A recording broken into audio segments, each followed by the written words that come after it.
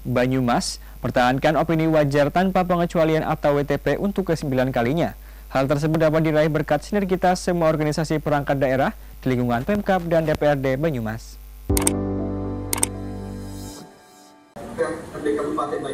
Untuk kesembilan kalinya, Banyumas menerima opini wajar tanpa pengecualian atau WTP. Itu semua berdasarkan laporan hasil pemeriksaan atau LHP Laporan Keuangan Pemerintah Daerah Banyumas Anggaran 2019 dari Badan Pemeriksa Keuangan Republik Indonesia atau BPK RI Perwakilan Provinsi Jawa Tengah. Penyerahan LHP laporan keuangan tersebut diserahkan secara virtual oleh Kepala BPK RI Perwakilan Jawa Tengah Ayub Amali kepada Bupati Banyumas Ahmad Hussein dan Ketua DPRD Banyumas Budi Setiawan. Penyerahan dilakukan melalui Vikon di Sasana Wilis, Rumah Dinas Bupati Banyumas. Bupati Banyumas Ahmad Hussein mengatakan, raihan prestasi ini berkat sinergitas seluruh organisasi perangkat daerah di lingkungan Pemkap Banyumas bersama DPRD Kabupaten Banyumas.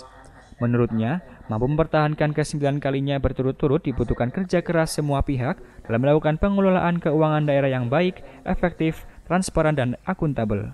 Ya Alhamdulillah karena ini kerjasama kerja keras kita semuanya baik dari pemerintah Kabupaten Banyumas maupun dari DPRD Kabupaten Banyumas serta seluruh masyarakat sehingga Kabupaten Banyumas sembilan kali berturut-turut mendapatkan opini wajar tanpa pengecualian. Ini baru kali ini ya, seluruh sampai sembilan kali. Kemudian, menurut Budi Setiawan, prestasi tersebut diraih atas kerja keras eksekutif dan legislatif namun, eksekutif harus lebih cermat dalam pengelolaan aset daerah seperti yang dipesankan Kepala BPK.